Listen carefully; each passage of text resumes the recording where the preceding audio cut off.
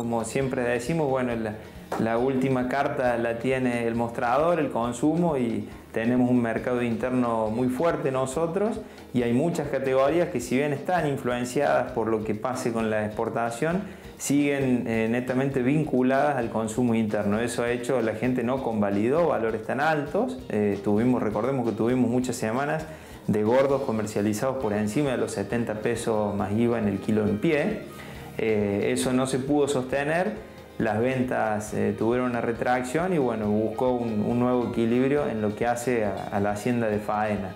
Eso, mm, por supuesto que estimula ya sea para arriba o para abajo a los filoteros y estamos eh, en el inicio de la cosecha y hay una expectativa de una baja en el costo de la alimentación por la gran cantidad de producción de maíz que hay en la zona núcleo, con lo cual eh, entre esa expectativa de un alimento eh, a un costo más apropiado y una demanda que está muy selectiva y con valores más bajos que los que inició el año, todos quienes reponen invernada están convalidando valores un poquito más acomodados en torno a los 60 a 65 pesos. Esa es la banda de precios para la invernada.